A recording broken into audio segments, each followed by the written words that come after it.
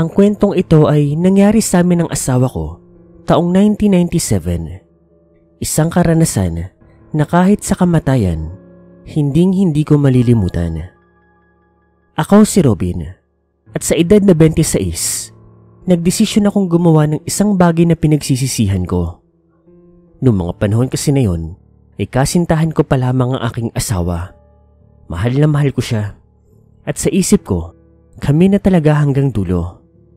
Nag-aaral pa siya noon sa kolehiyo. Samantalang ako, namamasada lamang upang kumita. Anim na taon ang pagitan naming dalawa. May pagka-istrikto rin ng kanyang mga magulang, kaya itinatago namin ang aming relasyon. Sa tuwing magkasama kami, ay lagi kaming nakabantay sa aming paligid.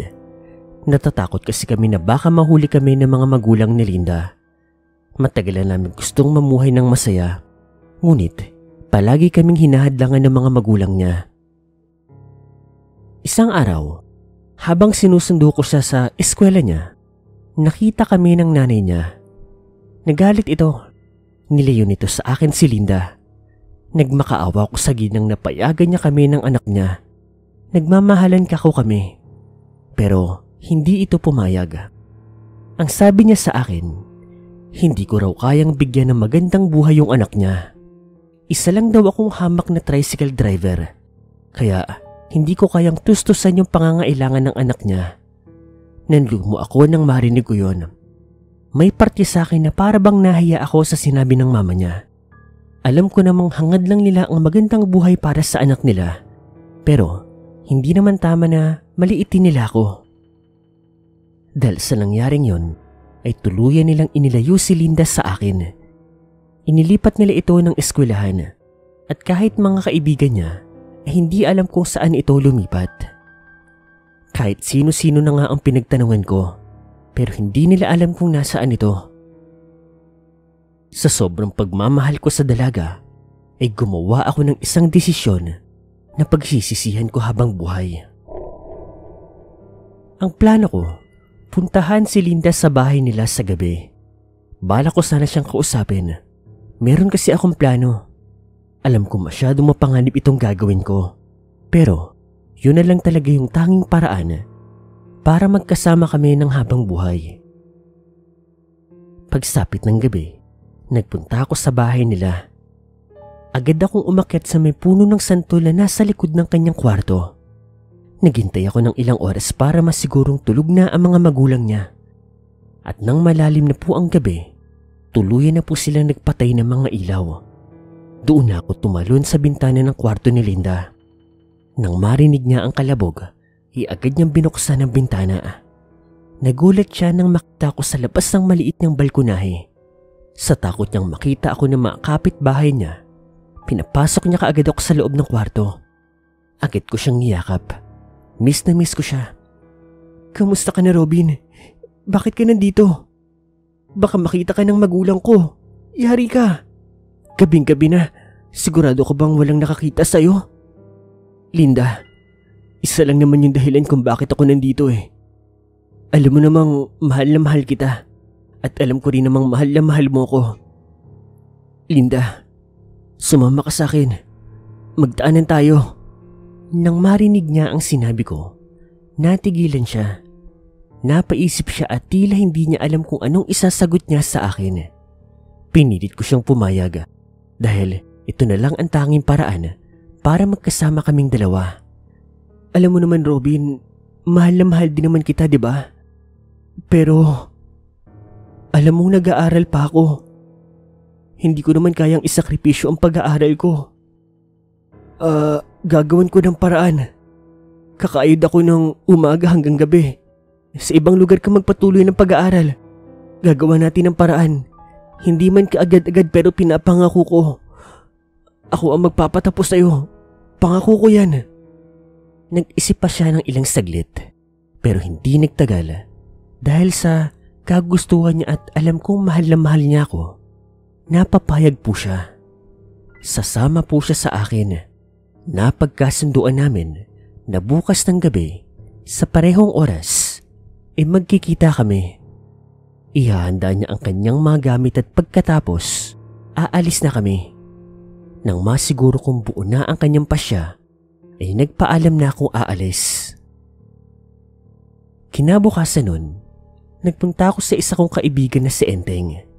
Sinabi ko sa kanya ang plano ko at siya pa mismo ang nagsabi sa akin kung anong lugar yung magandang puntahan. Sinabi niya sa akin na mas mabuti kung sa probinsya kami magpunta. Malayo raw kasi, kaya siguradong hindi kami mahanap ng mga magulang ni Linda. Nakapagdesisyon ako na samisamis po na magpunta. Taga Sambuanga kasi kami. Kaya malayo talaga ito sa amin. Sumapit ang gabi, kaya naghanda na rin ako. Pagsapit ng alas 9, ay nagtungo na ako sa bahay nila Linda. Tulad nung una, naghintay ako ng ilang oras hanggang sa patayin na po ng mga magulang niya ang lahat ng ilaw sa bahay nila. Nang madalim na ang buong paligid, ay nagmadali akong umakyat sa puno ng santol. At doon, nakita ko si Linda na naghihintay. Nakanda ng isang malaking bag na naglalaman ng mga gamit niya. Tinulungan ko siyang maibaba ang kanyang mga gamit at pagkatapos ay siya naman ang tinulungan kong makababa. Nang ligtas kaming makababa, ay nagmadali kaming umalis patungo sa kalsada. Nandoon na malapit yung tricycle ng kaibigan kong sa Enteng. Nakiusap kasi ako sa kanya na kung maaari, ihatid niya kami sa terminal ng bus. Mabilis kaming sumakay at tuluyan ang nilisan ng lugar na iyon. Pagkarating namin sa terminal, Pare, muna na kami ha. Pare, pakiusap. Huwag ka muna magsasabi tungkol dito ha. Ilihim mo lang hanggat maaari. Kahit subukan ka pang kausapin ng magulang ni Linda. Ikaw na sanang bahala. Sana maintindihan mo. Huwag kang mag-alala pare. Naiintindihan ko. Agad kaming nagtungo sa mga bus, papunta po ng Misamis. Sabay kaming sumakay ni Linda ng bus. At sa pagod po namin, nakatulog po kaming dalawa. Hindi ko alam kung ilang oras kami na nasa biyahe. Nakatulog kasi ako at nagising na lang ako nang meron na pong yumuyugyog sa aking balikat.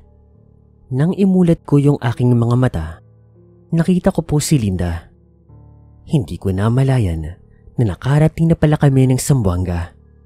Tumayo na ako at isa-isang kinuha ang mga dala naming mga gamit. Napalingon naman ako sa paligid. Madilim pa, kaya sa tingin ko, nasa madaling araw pa lamang. Maya-maya, may nakita kaming tricycle driver. Pinara ko ito. Manong, namamasada pa po ba kayo? Ah, uh, oo iyo. Kasisimula ko pa lang. Papatid ba kayo? Ah, uh, opo sana eh. Ito po yung address. Alam niyo po ba to? Ah, oo. Aso medyo mahal ang singil ko dyan. Malayo yan, iho. Sige po, walang problema. Medyo may kalayuan nga ang binyahe namin. Liblib na po ang lugar. Iilan lang po ang mga kabahayan. Pero, komunidad po ito. Madilim pa ng mga oras na iyon. Kaya, wala pang tao sa paligid. Kaya ang unang napuna namin ay yung bahay na tutuluyan namin. Agad kaming pumasok sa lumang bahay. Dati itong bahay ng tiyahin ko. Lumipat na kasi sila ng Maynila kaya wala nang nakitira dito. Mabuti nga, isamis ang lugar na napili ni Linda. Kaya yung bahay talaga na yun ang unang naisip ko. Mabuti nga rin, mabait din po yung tiyahin ko. Isang paalam ko lang Pumayag ka agad sila. Hindi kagandahan yung bahay. Luma na ito at may ibang parte po na sira na. Sinabihan ko naman si Linda na pagtyagaan niya muna yung bahay namin. Magsisikap ka ako kung mabuti para sa ganun, maipaayos namin yon. Wala naman siyang naging reklamo. Ang mahalaga lang sa kanya, eh ang magkasama kami. Lumipas po ang isang buwan, hindi pa rin kami natutunto ng mga magulang niya. Nagsikap ako mabuti. Kung ano-anong klaseng trabaho na ang pinasok ko, mabigyan lang ng magandang buhay si Linda. Isang araw po, habang papauwi ako sa bahay namin, napansin ko na may pinag-uusapan po yung mga kapitbahay namin. Noong una, hindi ko ito pinansin dahil akala ko kung sino-sino lang po yung kanilang pinag-uusapan. Ngunit nagulat na lang ako nang marinig ko na tungkol pala sa amin yung pinag-uusapan. Ayon sa isa naming kapitbahay, pinuntahan umano ng mga magulang nito si Linda. At dahil narinig ko ngayon, agad ako nagmadali.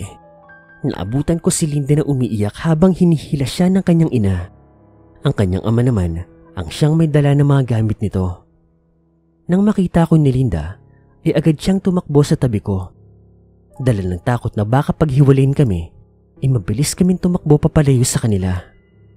Narinig ko pa yung pagtawag nila sa amin. Ngunit, hindi na po kami nagpapigil. Panay lang ang takbo namin. Hanggang sa napadpad na lang po kami sa mga sakayan po ng bus. Yung unang bus po na nakita namin, sinakyan namin kaagad. At kahit hindi namin alam kung saan ito patungo, eh wala na kaming pakailam. Sa pagkakataon po na to, napadpad kami sa isang isla na nasa Mindanao lang din po. Hindi ko na ito sasabihin. Napakalibib po nito. Hindi ganun karami yung mga taong nakatira. Pagkarating po namin sa lugar, nagtanong-tanong kami sa mga taong nakakasalubong namin. Nagbabak sakaling meron kaming mahanap na nagpaparenta po ng bahay. Kung sino-sino ang kinakausap namin. Pero lahat po sila, sinasabing wala daw po nagpaparenta sa lugar. Nanlumo kami at nawalan ng pag-asa. Aalis na nga sana kami ni Linda nang biglang may lumapit sa aming mag-asawa. Sa tingin ko, nasa mga 50 ang edad ng lalaki. Nasa lagpas 40 naman yung edad ng babae. Kung gusto nyo mga iho-iha, doon na lang muna kayo sa bahay namin manatili. Kahit nahihiya, pumayag na po ako. Magdidilim na rin kasi. Pagod na pagod na rin po si Linda. Nang makarating po kami sa bahay nila, inigtaka ko. Wala kasi sila halos kagamitan. Liba na lang sa mga gamit po na pang kusina. Isinawalang bahala ko po ito.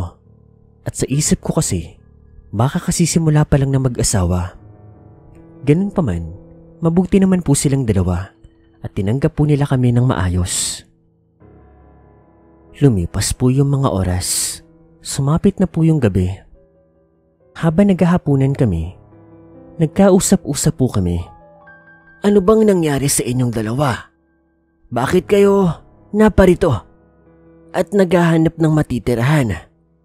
Sa totoo po niyan, Nagtaanan po kasi kaming dalawa. Mga taga Sambuanga po kami. Tapos napadpad na po kami ng Misamis. At heto po, nagbakasakali kami na sa islang to eh. Hindi na kami matutunto ng pamilya niya. Mahal na mahal po kasi namin ang isa't isa at tutul po sila sa akin. Dahil mahirap lang po ako. Nako, kawawa naman kayong dalawa. Di bale, dito sa amin, Ligtas kayo. Kaming bahala sa inyo.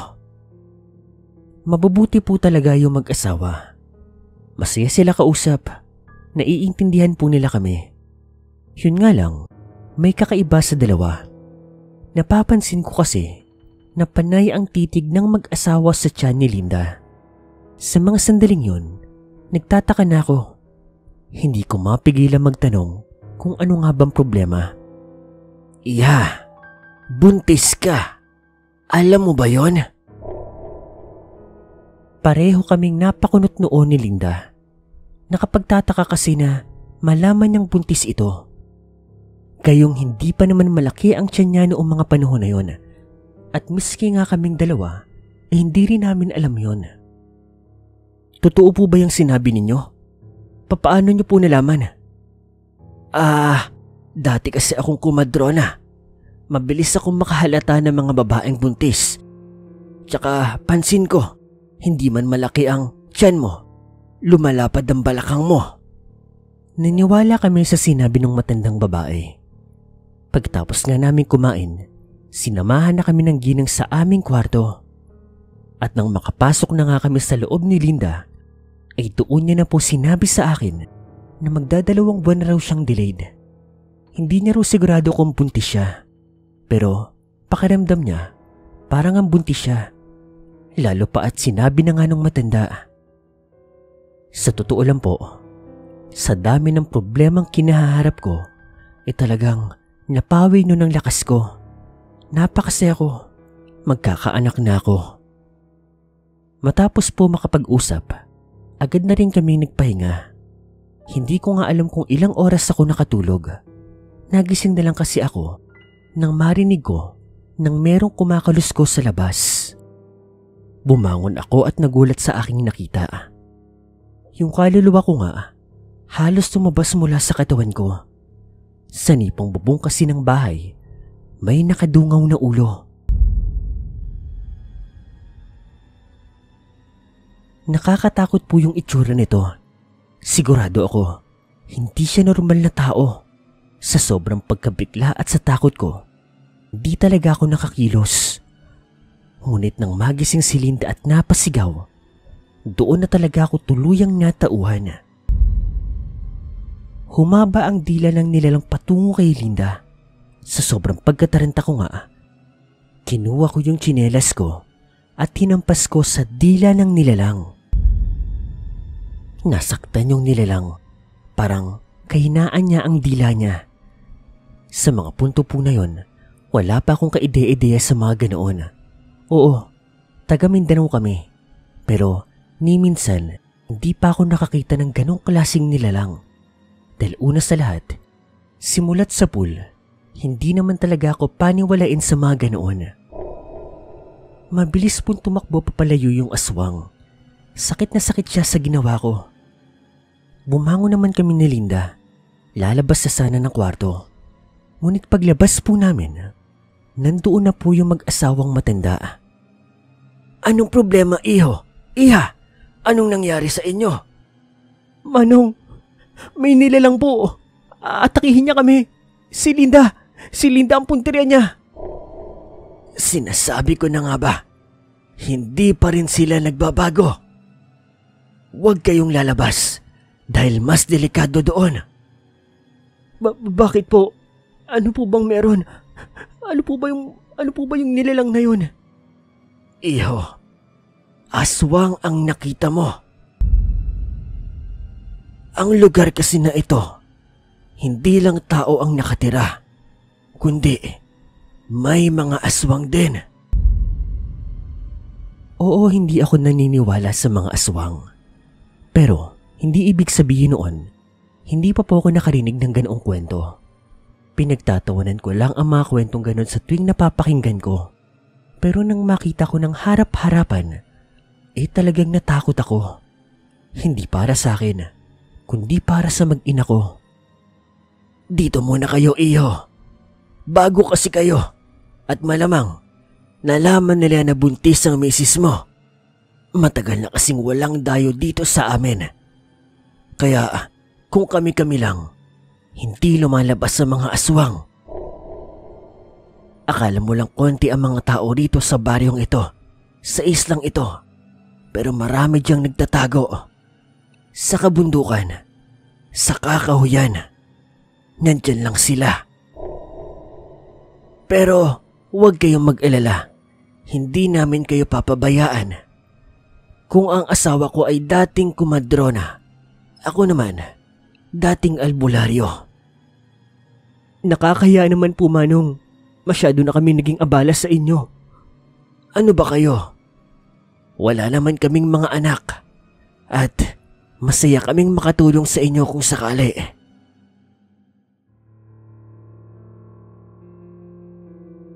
Dahil po sa mag-asawang matanda, napanatag kami ng asawa ko, ni Linda. Kahit papaano, kahit napakalaking problema po ang kinakaharap namin, todo pasalamat kami sa Diyos dahil meron pa ring mga tao ang tumutulong sa amin at tulog ng langit. Kagaya ng pangako ng mag-asawang matanda, inalagaan po nila kami. Sa mga sumunod po na gabi, wala pong nangyaring pag-atake. Talagang binabantayan po kami ng mag-asawa. Sa katunayan, alagang-alaga nga kaming dalawa. Sa umaga po, tumutulong po ako doon sa lalaking matanda sa mga gawain po niya. Pangangahoy, pag-iigib ng tubig, pag-aalaga ng mga hayop, pagtatanim, pagkukumpuni ng mga bagay. Habang yung matanda naman na babae, talagang ipinagluluto niya po kami ng pagkain. Nahihiya nga kami kasi wala kaming maibigay na pera sa kanila. Pero ang sabi nilang dalawa, wala daw problema yon. Daw silang nakakatulong. Sa katunayan, mabilis nga pong lumaki yung tiyan ni Linda. Ang sasarap kasi magluto ng matandang babae. Ang susustansya, puro gulay, puro karne ng baboy at manok. Si Linda nga rin, talagang napapalakas ng kain. Ganun daw talaga kapag buntis. Laging gutom. Kaya yung matandang babae, luto lang po ng luto. Ako naman po, dahil nahihiya nga ako, gumagawa ko ng paraan para po magkaroon ng pera. At dahil mahirap nga magtiwala doon sa mga tao sa baryong yun, nagpupunta po ako ng pera. Doon ako mahanap ng pwedeng pagkakitaan. Nagkakargador ako, nangingisda ako. Nagpupunta po ako sa palengke. Lahat ng pwedeng pagkakitaan eh talagang sinusubukan ko. Kinakapalan ko ang mukha ko para naman kahit papaano makabigay doon sa dalawang matanda at makaipon po ng pera. May tiwala naman ako sa mag-asawa kaya kahit sila lang po ang kasama ng asawa ko, eh talagang kampanting-kampante ako. Lumipas po ang mga araw. Wala kami naging problema. Nagkakaroon ako ng pera. Nakakaipon nakakapagbigay doon sa mag-asawa. Walang naganap na pag-atake ng mga aswang. At base naman sa asawa ko, masaya siya, komportable, at kitang-kita na mabilis pong lumalaki ang tiyan niya. Isa pa doon, eh ang talagang nag-aalaga sa amin, eh kumadrona, kaya talagang kampanting-kampante kami pagdating sa pabubuntis ng misis ko. Ngunit sa pagdaan pa po ng mga araw, kapansin-pansin na yung mga tao po sa baryong iyon ay eh madalas na po akong pinapansin. Kung dati kasi may mga namamansin pero karamihan hindi, dead lang. Pero sa mga nagdaan pong panahon, palagi na po silang nakangiti sa akin. Tumatango, bumabate o kung ano man. At dahil dayo nga kami doon, wala akong ibang magawa kundi ang makisama na lang. Pero ang paalala sa akin na mag-asawa, huwag magtitiwala sa iba. Dahil miski sila, hindi kilala kung sino ang tunay at kung sino ang peke. Apat na buwan na po ang tiyan ni Linda noon. Medyo may umbok na po. Nabase naman po sa matandang babae, eh hindi ito normal. Mas malaki kumpara sa mga apat na buwang gulang na tiyan. Nabahala naman ako pero ang sabi niya, huwag daw kaming mabahala. Nay, sigurado po ba kayo? Hindi ko kailangan mabahala sa misis ko? Baka po kailangan natin siyang ipacheck up sa mga doktor. Hindi na, iho. Pinakinggan ko ang tiyan ng misis mo. Ang narinig ko ay tibok ng tatlong sanggol. Tatlong bata ang laman ng tiyan ng misis mo. Nagkatinginan kami ng misis ko. Hindi kami makapaniwala. Triplets? Sobrang saya namin. Pero, Nay, hindi po ba delikado yun? Delikado siyempre. Pero kung marunong naman ang magpapaanak sa iyo at aalagaan ka naman, magagawa naman ito ng paraan. Tutulungan naman kita sa pag-iri mo. Akong bahala. Hihilutin ko ang tiyan mo para nakapwesto ang tatlo. Nay, hindi po ba delikado na tatong bata inunormal po? Nakapagpaanak na ako ng triplets dati. Buhay pa naman sila hanggang ngayon. Yung nanay, nakapagbultis pa nga ng dalawang beses. Magtiwala ka sa akin. Sa totoo lang po, may tiwala naman talaga ako kay nanay. Alam kong biyasa na siya sa kanyang ginagawa. Pero iba na kasi ang lagay noon. Triplets na ang anak namin. Ang alam ko, kapag mga ganyan, dapat eh kinukonsulta na talaga sa mga doktor. Baka kasi mamaya, hindi kayanin ng asawa ko. Isang iri pa nga lang ata. Napakahirap na. Paano pa kaya ang tatlo? Ngunit kinoon pa man, nagtiwala kami sa kanila. At ang pag-aalala po namin, inatabunan po ng saya dahil nga sa balitang nalaman po namin. Miruin mo, sa isang anakan lang, makakatatlong anak na ako. Sabi ko nga sa sarili ko noon, tama na ako. Kota na ako sa tatlo. Ngunit ang mas pinagtaka ko, eh, yung balita po pala na iyon, eh parang nalaman din po ng mga kabaryo po namin. Hindi ko alam kung sino ang nagpakalat. Yung matandang lalaki ba? O yung matandang babae? Karamihan kasi sa mga tao, kinokongratulate ako. Congrats daw. Tatlo raw yung magiging anak ko. Tamang-tama daw sa nalalapit na pista. Napaisip naman ako. Karamihan kasi ng mga bumabati sa akin, palaging binabanggit yung pista. Sakto raw sa pista. Nagtaka naman ako. Anong ibig sabihin nila? Tsaka, anong connect sa piyesta ng pagkakaroon ko ng tatlong anak? Ganun pa man, natuwa naman ako sa mga bati nila at naramdaman ko na parang parte na nga kami ng baryong iyon. Dahil naman po doon, mas lalo akong ginanahan magtrabaho. Mas sinipagan ako. Ang pagkakaroon ng tatlong anak ay napakasaya pero hindi basta-basta kaya kailangan ay magsipag pa ako. Lumipas pa po ang mga buwan.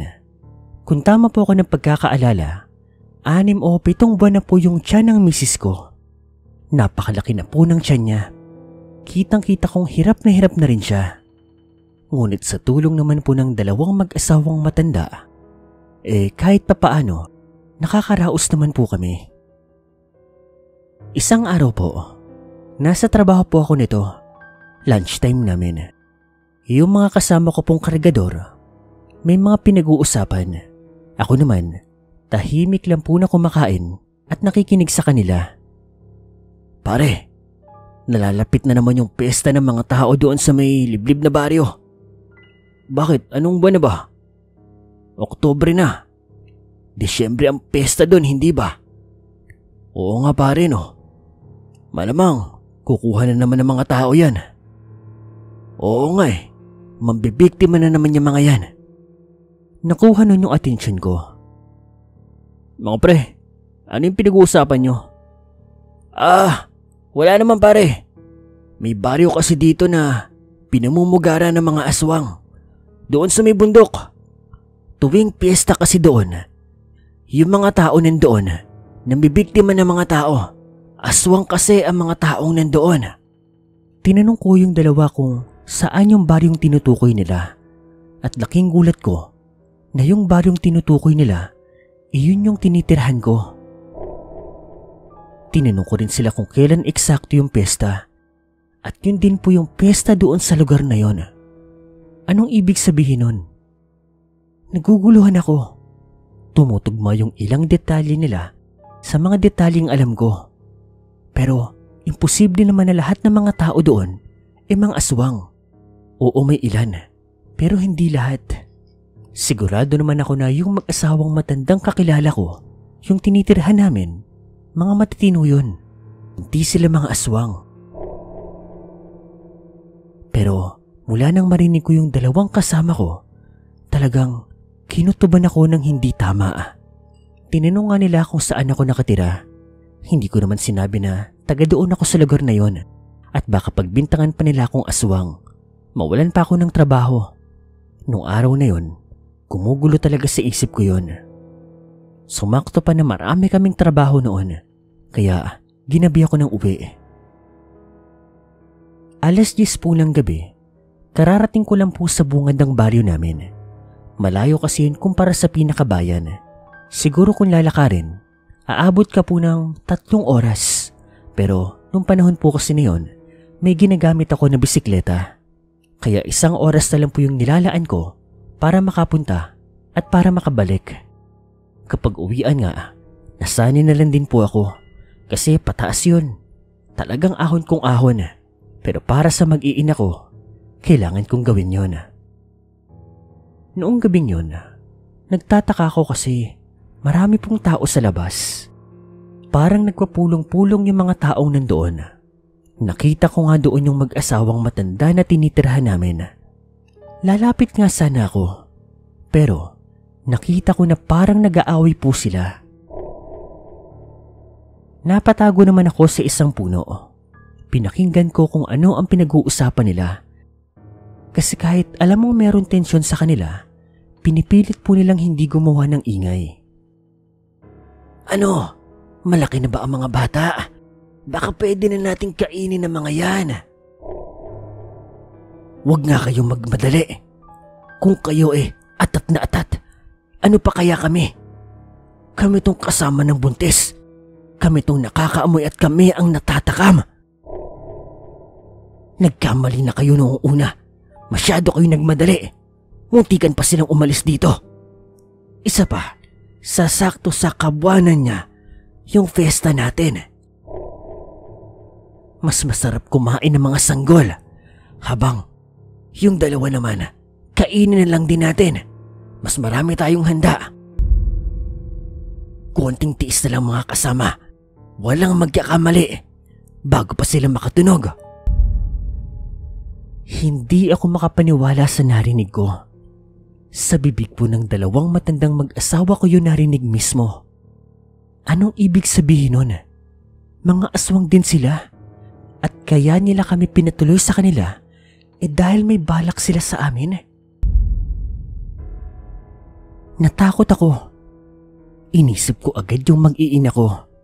Ang dami pa po nilang pinag-usapan. Mga plano, mga gustong gawin mga luto na gagawin sa amin. Pero hindi ko na tinapos pa yon.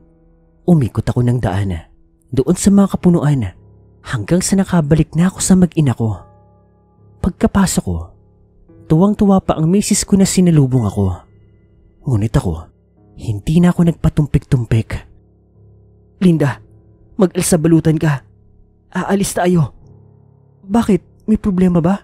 Ano nangyari? Natuntun ba tayo ng mga magulang ko? Hindi, Linda. Yung mag-asawa. Yung dalawang matanda. Mga aswang sila. Narinig ko. Kasama nila yung mga umatake sa atin noon. Tayo ang gagawin nilang handa sa pesta nila. Kaya nila tayo pinatuloy dito. Kilala ko ni Linda. Hindi ako gumagawa ng kwento. Kaya sa isang paliwanag ko lang sa kanya, naintindihan niya ang lahat. Nag-alsa balutan kami ng mga gamit na napundar namin, yung mga kakailanganin namin. At walang ano-ano, umalis kami sa lugar na yon. Doon ko lang din napagtanto yung mga bagay-bagay. Kung bakit hindi gumagamit ng asin yung matanda. Kung bakit walang kalamansi. Kung bakit walang bawang. Iba kasi ang ginagamit nilang pampalasa na masarap din naman. Wala rin silang mga krus sa bahay nila. Wala silang relihiyon. Yun pala ang dahilan. Kasi mga aswang din pala sila. Kahit hirap na hirap yung misis ko, ginawa niya ang makakaya niya para makaalis kami sa bahay na yun. Hindi kami dumaan doon sa normal na daanan, kundi doon sa daan na medyo mapuno, mapanganib at delikado. Mabuti, walang nakakita sa amin. Dahil sa mga sandaling yun, kasalukuyan pa rin ata silang nagpupulong. Naglakad kami ng misis ko. Awang-awa nga ako sa kanya kasi hirap na hirap siya. Bigat na bigat siya. Ako naman, tinatagan ko ang sarili ko. Dahan-dahan lang kami naglalakad at makalipas po ang ilang oras. Sa wakas, nakababa po kami ng bayan at nakarating po sa may pantalan. Hirap na hirap po ang misis ko. Sakit na sakit po siya. Pero mabuti na lang po, nandun na kami sa bayan. Kahit nga madaling araw na noon, marami pa ring tao doon. Akala nga po namin, ligtas na kami sa mga sandaling yon. Pero laking gulat namin nang tawagin po kami ng matandang babaeng umampun sa amin. Iho! Iha! Saan kayo papunta? Paglingon namin, kasama niya po yung asawa niya. Nandoon din po yung ilang mga tao doon sa baryo sa itaas. Lahat sila masama ang tingin sa amin. Umuwi na kayo. Hali kayo. Sinundo na namin kayo. Mapanganib para sa asawa mo. Buntis pa naman siya. Ngunit impis na matakot, inipon ko ang lahat ng lakas ko. Tulungan niyo po kami. Mga aswang po sila. Sila po yung nakitara sa bar na nasa itaas. Yung mga aswang. Sila po yung namibiktima ng mga tao. Napakalakas po talaga ng sigaw ko na iyon. Paulit-ulit pa. Dahiran para makuha ko yung atensyon ng ibang tao. Napalingon silang lahat sa amin. Maski doon sa mga taong gusto nga kaming kunin. Nagsilapitan sila. Nagkaroon ng parang komosyon. Nagkakomprontahan. Tinatanggi nila na sila nga yung mga taong nandoon. Pero merong isang taong sinabuyan po sila ng asin. At simula po noon, nagkaroon po ng kaguluhan. Kami naman ng asawa ko, sinamantala na po namin yung pagkakataon. Sumakay na kami sa malaking bangka at bumalik papunta po sa may mainland. Awang-awa na ako sa asawa ko noon. Hindi ko na alam ang gagawin ko sa kanya. Kaya ang sabi ko sa kanya, kailangan ko na kako siyang ibalik sa mga magulang niya. Dahil sa totoo lang po, sa sitwasyon niya, wala talaga akong maitutulong. Ang tulot ko lang sa kanya ay puro panganib, ay puro problema. Ayoko ng desisyon kong iyon, pero wala akong pagpipilian. Iyon ang pinakamabuti para sa tatlo kong anak at para sa asawa ko. Bumalik kami ng Sambuanga. Lumod ako sa harapan ng mga magulang niya. Kako, kahit hindi niyo na ako tanggapin, tanggapin niyo lang yung mga apo niyo at yung anak niyo. Hindi na ako magpapakita. Noong panahon nga na yon, hindi inaasahan ni Linda ang sasabihin kong yon. Akala niya, sasama siya sa akin. Pero alam ko namang hindi ako tatanggapin ng mga magulang niya. Kaya sabi ko, Ibabalik ko na ang anak nila at pangako, hindi na ako manggugulo pa. Ngunit laking gulat ko na lang po nang sabihin po ng mga magulang po ni Linda na hindi ko na raw kailangan umalis pa dahil kailangan ako ng mga anak ko. Nakita po ng mga magulang ni Linda na mahal ko nga ang kanilang anak na handa kong gawin ang lahat para sa kanya at para sa mga anak ko.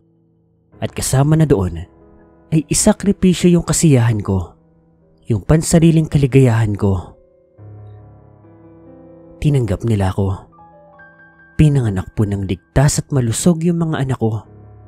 Dalawang lalaki, isang babae. Tuwang-tuwang ang mga magulang ni Linda, lalo na po kami. Samantala, pinatunayan ko naman sa kanila na gagawin ko ang lahat para po sa ikabubuti ng pamilya ko. Binigyan ako ng kaunting kapital ng mga magulang ni Linda. At gamit yon, nagtayo po ako ng sariling negosyo. At unti-unti, umangat ng umangat ito hanggang sa lumaki. At ngayon, yung yaman po ng pamilya nila, eh halos nahigitan ko na. Sa totoo lang po, hindi ko rin akalain na magiging ganito ang buhay ko. Napaka roller coaster po talaga. Nasa ilalim ako noon. Unti ka na nga rin kaming mamatay. Sumuko. Binigyan ng pagkakataon. At ngayon, nasa itaas na. Totoo nga ang kasabihan. Bilog ang mundo. Minsan nasa ibaba. Minsan nasa itaas. Pero ikaw ang magiging dahilan ng pag-ikot nito at ikaw rin ang magiging dahilan para mapanatili ito sa kung saang pwesto mo ito gugustuhin. Hanggang dito na lang po ang kwentong ito. Maraming salamat at palagi po tayong mag-iingat, lalong lalo na sa mga liblib na baryo.